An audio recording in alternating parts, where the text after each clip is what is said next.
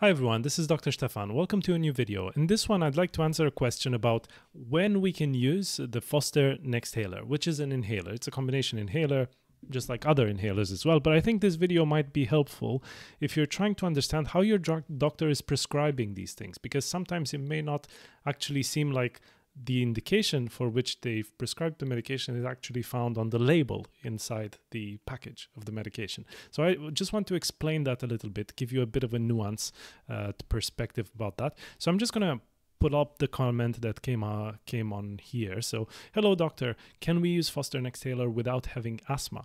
And I think that's a very common thing that happens because sometimes doctors may prescribe these sort of inhalers, like just this one or this one or some other inhaler, for another reason, not necessarily because they think you have asthma. Sometimes they may think, based on the theoretical probabilities, that this type of medication or another one may be helpful in your situation. Now, obviously, I'm not your doctor, I'm not providing medical advice here, but I'm just suggesting that potentially you may be recovering sometimes from a chest infection and you're still a little bit wheezy. You're still uh, not recovering as fast as possible. So maybe your doctor may prescribe something like this for a few months to see if that improves your situation.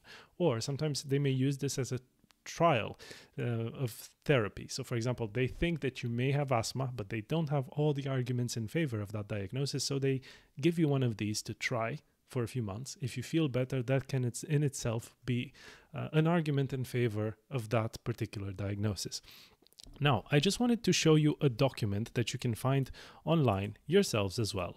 So, if you're looking for this, it's something called an SMPC. Now, obviously, you have the package leaflet. So the, the, that's the information that's provided inside the box that, that comes uh, with the medication. So you can look at that. That's the that's basically the document that you would use as a patient. It's a simplified document, but it's a summary of a much larger document, which is also the summary of a, an even larger document, but let's not go into that one.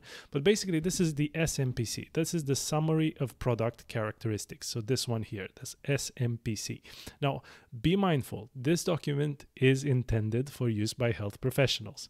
Now, in the SMPC is I believe something that's used uh, extensively in Europe. Other countries in the world may have similar things.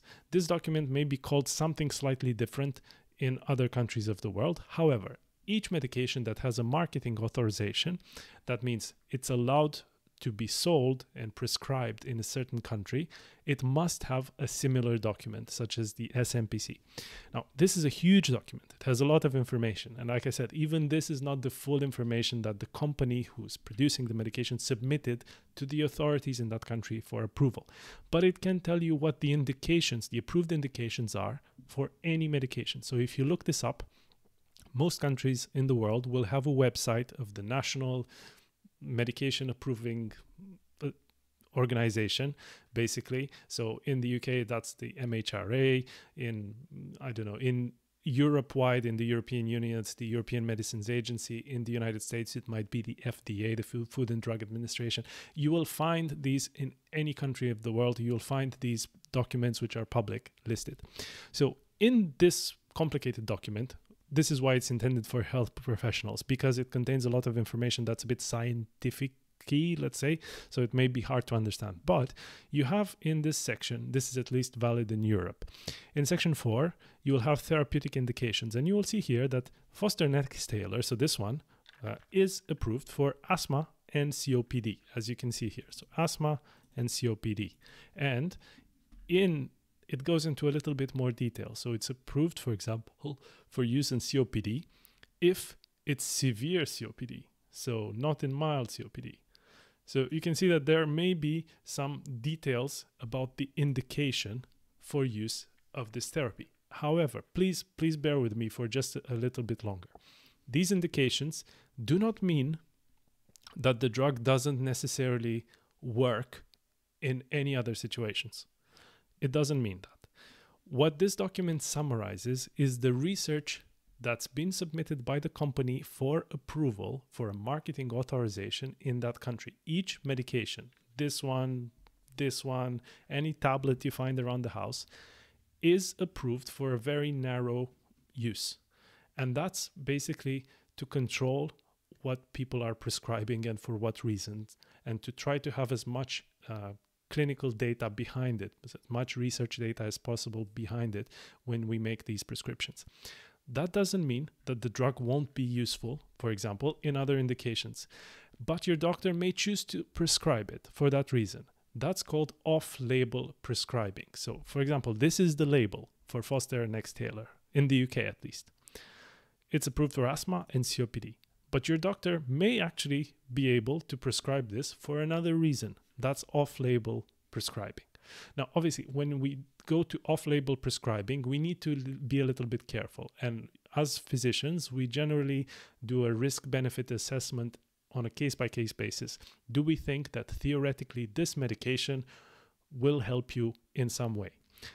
Now, for Foster Nexthaler, which is an inhaler that contains, we know what it contains. So it contains beclomethasone and formoterol. Beclomethasone is a corticosteroid, an inhaled corticosteroid. So it controls inflammation in the airway. We know that that works for a lot of theory and a lot of uh, medical knowledge that we have behind it. So we may use it potentially for another reason where we may have some airway inflammation. Formoterol is just a bronchodilator, so it just opens up the airway. So this is a combination inhaler. But like I said, we tend to adjust how we prescribe medications based on the situation. This is the best situation possible, so we would only prescribe theoretically under the ideal optimal circumstances Foster Nexthaler only for asthma and severe COPD. However, we may sometimes try it for other things as well. But what I guess I'm trying to say with this sort of nuanced discussion, which may be confusing, granted, is that things are not always as clear cut. And if you look at this document, for example, in the UK, and you look up the same medication in another country, you may find that the SMPC has differences.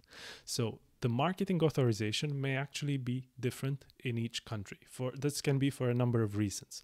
So the company may actually submit different approval dossiers to different regulatory agencies in different countries. And I think this is very interesting. It's something that it's important to be aware of because for example, the same drug that's approved in Germany may be actually approved for slightly different indications in Germany compared to France or compared to the United Kingdom or the United States.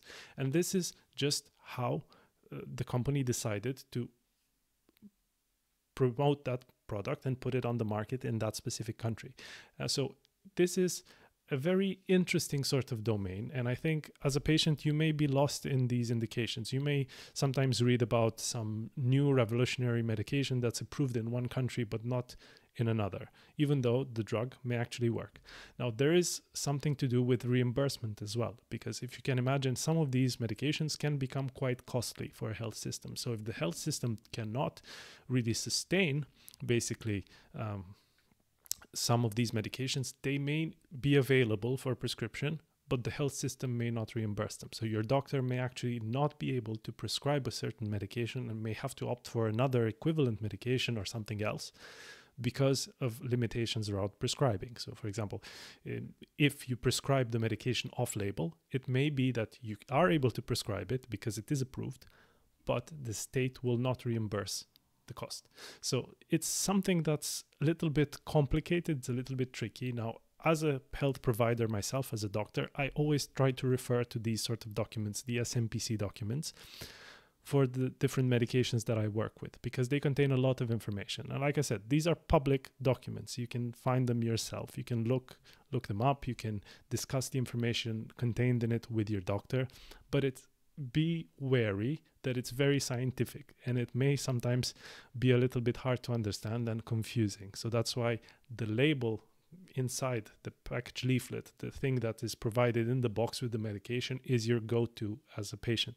As a doctor, I need to know more when I'm prescribing a medication. I need to know more details about how the side effects have been reported, in what population this drug was researched, and I can find some of these um, informations, uh, some some of these bits of information in this sort of document.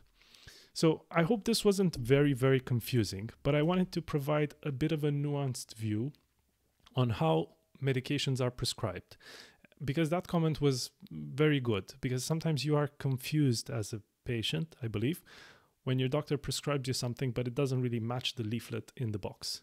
Uh, this is why. I hope this was a clear enough explanation as to why that is and how medication prescribing can differ from country to country and how it may evolve over time. So, this document that I showed you before, the SMPC, can evolve. So, it gets updated regularly as the company finds new information about the drug. For example, they find out that this medication potentially might work in bronchiectasis, let's say. This is theoretically, it's not necessarily the case, but let's say they find uh, that studies have shown that this is what it does. It works in another indication. They will apply for approval for another indication if the regulatory authorities decide that yes, that's that's true, it works. They've looked at the data from the company and they agree that there is enough data to support that indication. They will be given another therapeutic indication that will be added to this document, and doctors will then be able to prescribe it in a reimbursed fashion potentially for that new indication. So it's a complex process in the pharmaceutical industry and how it interacts with the regulatory agencies and how the patients sort of end only get to see the end result of that interaction. But I, find it relatively interesting. If you found this video helpful, do leave more questions in the comments below. I'll try to answer as much as possible and clarify things for you as much as I can. But like I said, I'm not your doctor. So always check with your doctor why you're prescribed the medication. I think that's the, the key. If you know why you've been given a medication, what's the rationale behind your doctor's decision to recommend that specific medication over another, I think you'll be in a much better position to control whatever condition you are having. Uh, thank you for watching, and I'll see you in future videos. All the best.